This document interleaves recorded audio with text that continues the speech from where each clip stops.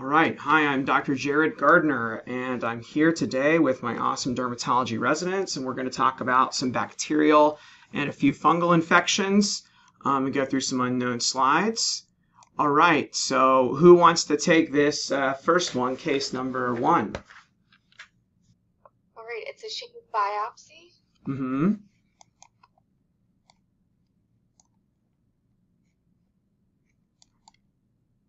And from low power, not real exciting, right? Not a ton of inflammation. There's a little bit of uh, extra keratin up here, maybe some spongiosis.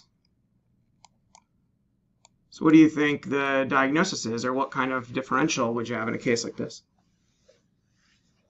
Like the uh, the path that's not really specific, but like a normal skin differential. Yeah. What kinds of things do you think of when the skin looks relatively normal? Like ichthyosis vulgaris, tinea, vitiligo, amyloid sometimes. Good. Those are all good things to think of when the skin looks normal um, or relatively normal. You, I also sometimes think of uh, TMEP, telangiectasia macularis, eruptiva perstans, the you know subtle adult form of mastocytosis. Here, I think there is some sponge. So I would say my first thought here is that this may be a sponge derm.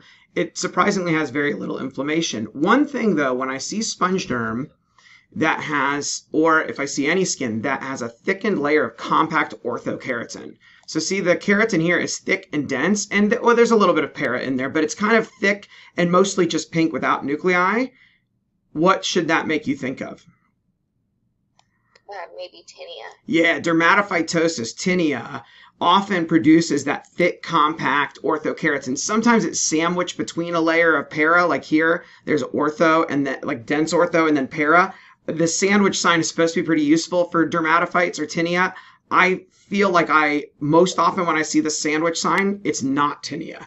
So I feel like you can see that in resolving dermatoses where there was a rash that was inflammatory, like sponge derm, and then patient comes for a biopsy 10 days later or something and then by that time it started to resolve and so the layer of para has been pushed up by a layer of more normal um, keratin all right? So here that is the diagnosis is tinea. And look it's a little hard to okay it's pretty hard to see. Some of these slides of course it's going to be hard to see because we're looking at very small things. There's a little tiny circle there with a little dot in the middle of cytoplasm. That's the cross section of the fungal hypha. And here's another hypha right here that's running kind of longitudinally and you might be like, really? Well, some people say that they can make the diagnosis of dermatophyte just on H&E, and there are times like this where you can really see them, and sometimes they turn a bluish tinge, but in my experience, the tinea, dermatophytes are usually totally clear, even when there are a lot of them, and they're often very hard for me, at least, to detect with, with confidence on H&E. So if I have a doubt, I do a PAS stain. Okay, but you can in this case very nicely see the little holes. And to me, the compact orthokeratin is one clue. What are some other clues microscopically to dermatophyte? When should we think of dermatophyte uh, fungus? Oh, here, that, look at this. This is a nice longitudinal. Oh, it says this is the max.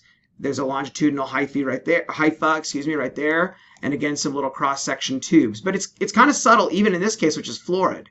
So what what other things aside from compact ortho or maybe a sandwich sign? What other things can make you think of uh, of dermatophyte? I'm just like the normal skin differential. If you're just struggling, like nothing flares out at jumps out at you. At That's true. But there's one other thing. If I see sponge derm with a with one extra finding, does anyone know what thing if I see in sponge derm will at least for me prompt me usually to do a PAS?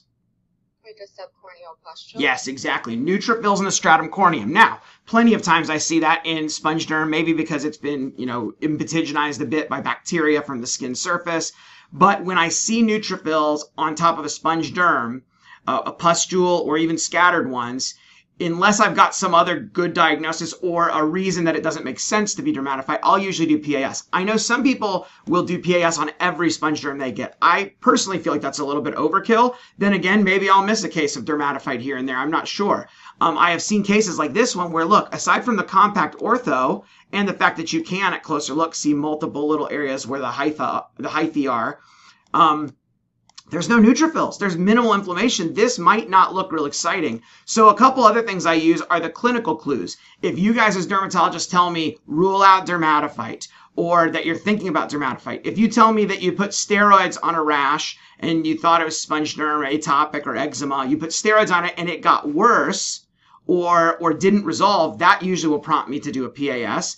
If you're telling me your differential includes something that has a ring or annular shape, like if I see sponge derm, but you were asking for granuloma annulare, then I'm going to think about doing dermatophyte. Those are all reasons that I'll, that will usually prompt me. In addition to the clues I see microscopically, those clinical stories of, of persistence or worsening after topical steroids, which is of course one thing. If you put steroids on dermatophyte, it will flare up, right? And then it starts looking weird becomes tinea incognita, and um, and then can be really hard to diagnose. And I've seen really severe cases of that where I saw a poor kid in fellowship that had had a rash for like two years or a year and a half and had been putting multiple different steroids that their their doctor um, uh, was prescribing for them, and no one ever scraped it or biopsied it, and it was just dermatophyte. So let me now switch over to my PowerPoint real quick and just show you an example. Here's an example of, uh, let's full screen that. Here's dermatophytosis where you have sponge, you have that compact ortho, and some neutrophils and debris. Here in the follicle also.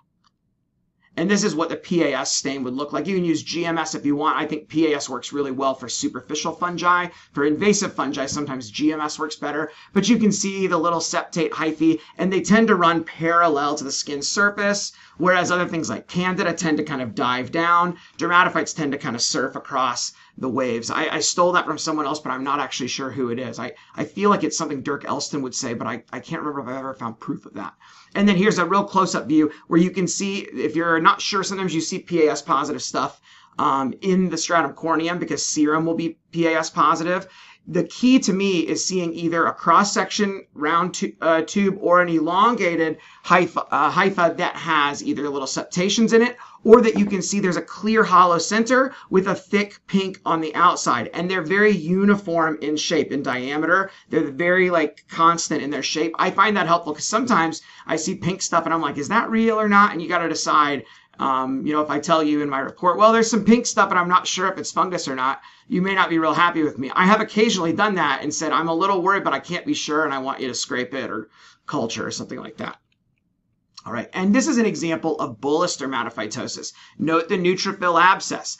Uh, so every once in a while, you can get really excessive spongiosis or sometimes really abundant dermal edema. In a case of dermatophyte, that can cause um, uh, dermatophytosis. And I remember this case well because it was not suspected clinically, and I even felt like, oh, it's not going to be dermatophyte, and it totally was. And I'm sorry, but I don't have a picture of the PAS here, but you'll have to believe me, there were fungi.